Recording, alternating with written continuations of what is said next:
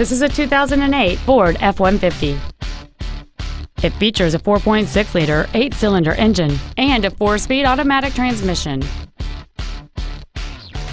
Features include a double wishbone independent front suspension, a low tire pressure indicator, a CD player, 17-inch wheels, an engine immobilizer theft deterrent system, 12-volt power outlets, privacy glass, an anti-lock braking system, a passenger side airbag, and power windows. Contact us today to arrange your test drive. Lone Star Ford is dedicated to doing everything possible to ensure that the experience you have selecting your next vehicle is as pleasant as possible. We are located at 8477 North Freeway in Houston.